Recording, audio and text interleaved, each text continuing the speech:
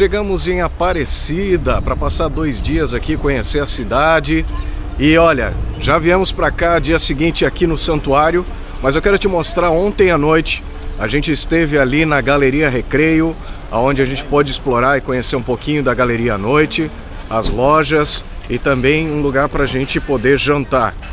A Galeria Recreio também tem um lugar muito bonito, um mirante, onde a gente pode ver aqui o santuário ao fundo, lugar lindíssimo para você apreciar, tirar uma bela foto.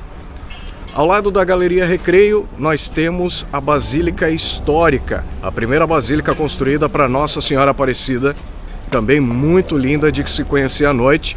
E naquela região tem várias lojas com preço muito bacana. Então, como eu falei, começamos o dia aqui no santuário e depois vamos explorar e conhecer um pouquinho mais da cidade. Já deixa o seu like e se inscreve no canal. Bora lá! Que coisa boa, depois de com palavras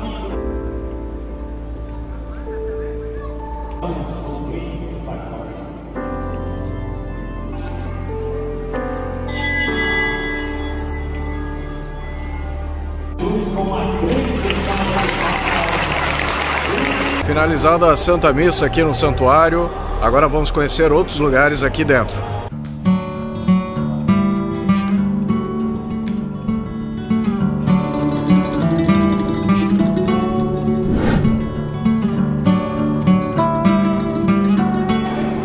Nesse espaço também tem a parte dos devotos mirins, que fica embaixo do santuário. Aqui embaixo também tem os estúdios da TV Aparecida, e a Livraria Santuário. E outro lugar interessante é a Sala das Promessas, também conhecida como Sala dos Milagres. É um espaço com 1.300 metros quadrados, com várias recordações e bênçãos alcançadas pelos devotos. Você vai encontrar também várias imagens, vários artefatos aqui nesse espaço. Só de fotografias são mais de 100 mil fotografias e mensalmente o santuário recebe mais de 20 mil objetos. E aqui uma representação da embarcação dos três pescadores que encontraram a imagem santa lá em 1717. E também tem um espaço dedicado aos milagres.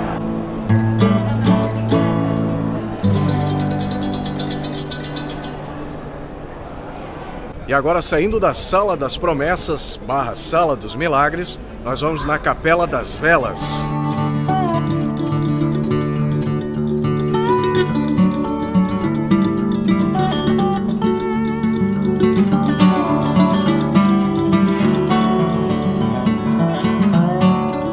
E agora saímos da Capela das Velas e vamos até a imagem de Nossa Senhora Aparecida.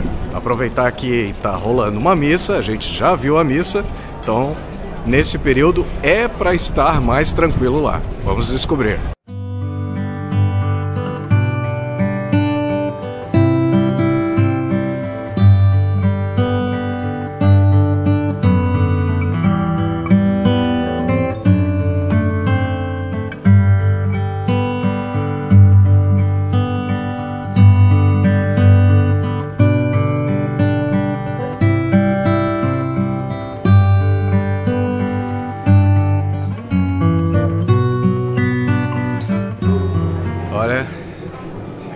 Impressionante.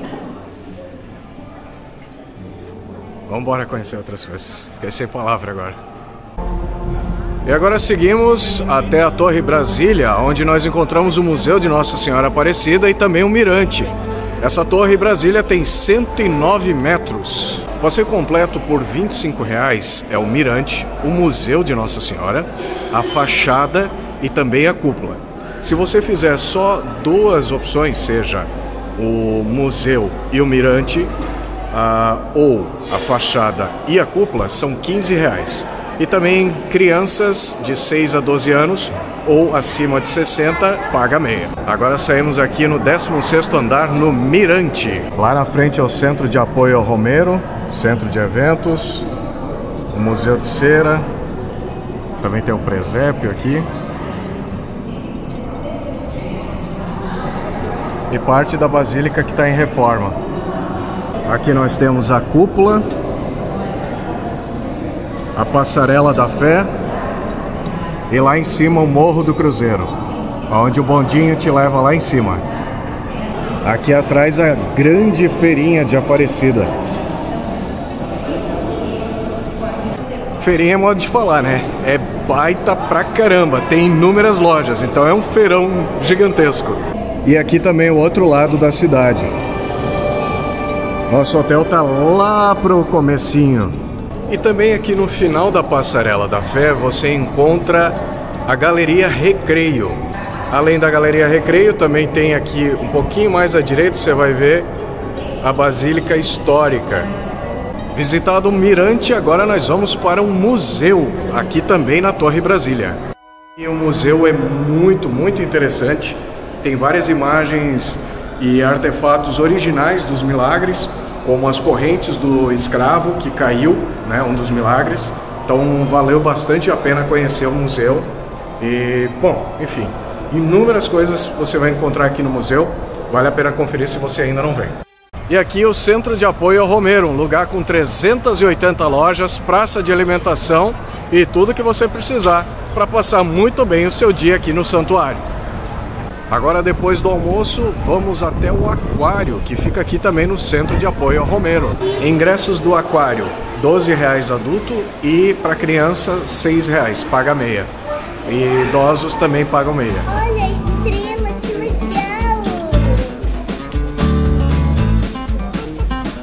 Valeu bastante a pena? Sim! então tá bom. Foi muito legal. Então vamos continuar nosso passeio agora pelo santuário. Vamos! Aqui no Centro de Apoio ao Romero, então você encontra 380 lojas dos mais variados tipos, seja artigos religiosos, roupas e um monte de coisa. Agora viemos aqui no Morro do Presépio.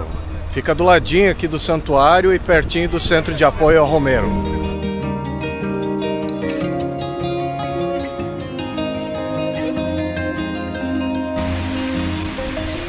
Várias imagens do Evangelho são representadas aqui. Assim como essa, quando Maria soube que a prima Isabel iria dar à luz e foi às pressas para uma cidade de Judá que fica nas montanhas.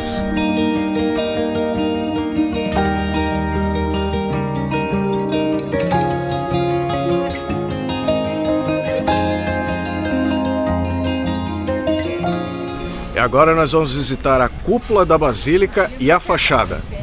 A entrada da cúpula tem duas opções. Se você comprou o ingresso inteiro, com todas as opções, você vai entrar lá pela Torre Brasília. Se você compra só para cúpula e para a fachada, vai ser aqui pelo subsolo. Agora chegamos, na verdade, na fachada, o primeiro ponto de parada aqui. Para você que se perguntava como chegar nesse primeiro andar aqui, é pela fachada. Lá ao fundo a gente pode avistar a feirinha, que é a parte da frente é oficial, e essa aqui é a fachada da Basílica. Posso falar bobagem, mas eu acho que essa é a bandeira do Vaticano. E pro lado de cá a gente consegue ver o campanário Basílica de Aparecida. E aí agora a bandeira do Brasil. E aqui é o lado oriental, com várias imagens relacionadas à história de José. Agora vamos ao Jardim Ocidental. E esse é o lado ocidental, falando sobre a rebelião dos hebreus, os prodígios de Moisés, as pragas do Egito. E agora nós vamos subir a cúpula. São os dois lances de escada para chegar até aqui na parte de cima. E olha que interessante que é aqui a parte de cima da basílica, onde você vê curvado lá de baixo. É assim que é aqui por cima. E agora chegamos à cúpula que levou cinco anos para ser concluída. Ela conta com 5 milhões de pastilhas de 2 centímetros, algumas até folhadas a ouro. E você pode ver no céu, aqui no, na cúpula, várias imagens de pássaros que são os devotos vindo aqui em busca né, de devoção aqui vindo ao santuário. Ela tem 32 metros de diâmetro e 109 metros de circunferência. E estamos falando de uma cúpula que está a 72 metros acima do chão da basílica. Depois da basílica, nós vamos agora de bondinho ao Morro do Cruzeiro. E esses aqui são os valores. Ingressos do simples 38 adulto, 19 criança. A gente vai fazer o simples e vai ver depois se compra o adicional lá em cima.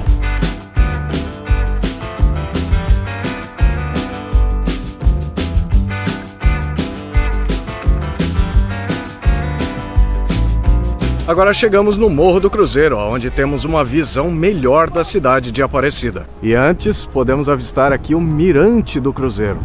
Para acessar o Mirante, você paga R$ reais a mais. E para quem faz o Morro do Cruzeiro a pé, consegue ver toda a Via Sacra. Aqui no final, a gente tem uma das últimas passagens, onde Jesus é colocado no sepulcro, e uma extra que é a ressurreição de Jesus também.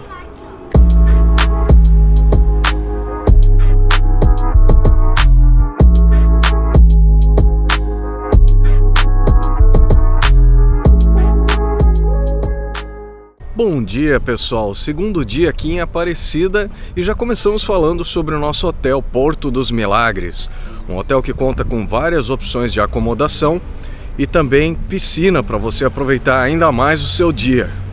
Conta com café da manhã e também uma linda capelinha com a imagem de Nossa Senhora Aparecida. Agora seguimos explorando um pouquinho mais da nossa cidade Aparecida.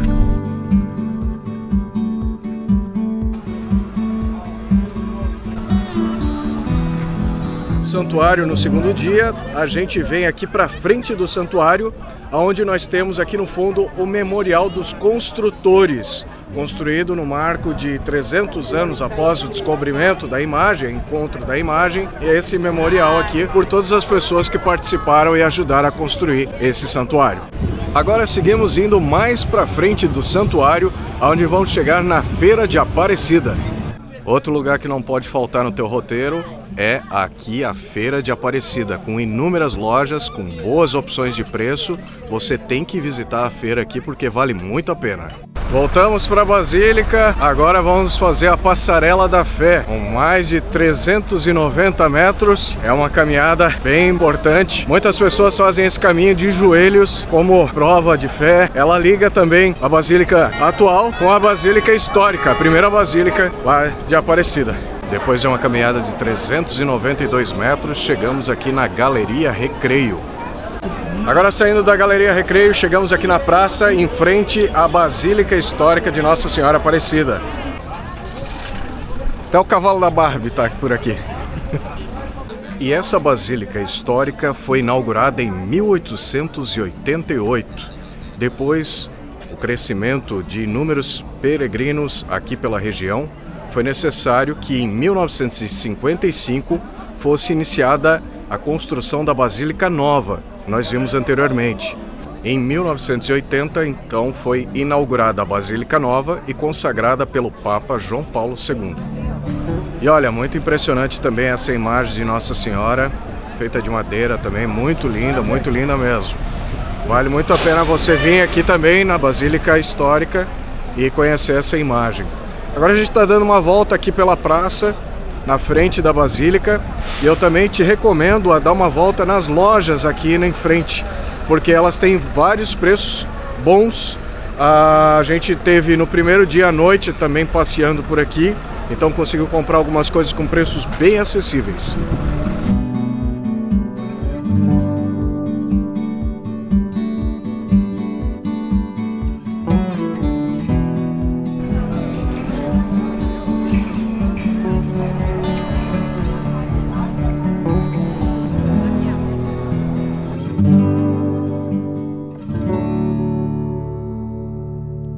E agora a gente atravessou a rua aqui do hotel e veio aqui no porto de Itaguaçu para dar uma conferida aqui o que, que nós temos. E aqui temos a capela de São Geraldo de Magela, aonde foi o primeiro oratório para Nossa Senhora Aparecida. E um fato muito importante é que o milagre das velas aconteceu aqui também.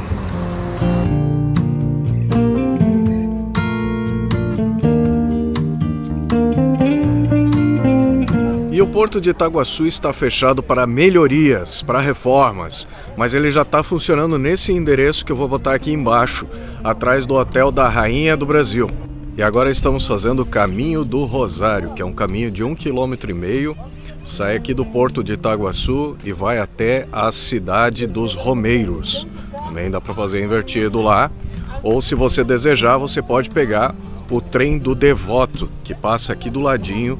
Custa R$ 18,00 adulto e R$ 9,00 acima de 60 ou crianças.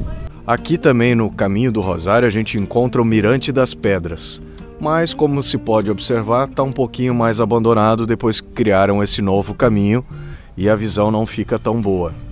E sobre o trem dos devotos? Bom, ele funciona até as quatro e meia da tarde e a gente já chegou meio tarde hoje aqui, então é bom garantir o ingresso antecipado aqui para não perder a oportunidade de conhecer. Mas você pode fazer gratuitamente aqui o caminho do Rosário. E depois de uma caminhada de um quilômetro e meio, chegamos aqui na cidade do Romero. A cidade do Romero foi uma infraestrutura criada aqui para receber todos os romeiros de todo o mundo. E ela conta com tudo que você precisa: hotel, conforto, lazer, enfim. Tudo que você precisar você vai encontrar por aqui. E aqui temos pedalinho, o trem do devoto, hotel para receber você, olha, até música ao vivo. E essa foi a nossa viagem de dois dias aqui em Aparecida. Espero que tenha te passado alguma informação importante. Curta, compartilha, se inscreve no canal aí e muito obrigado por assistir. Valeu e até a próxima. Tchau!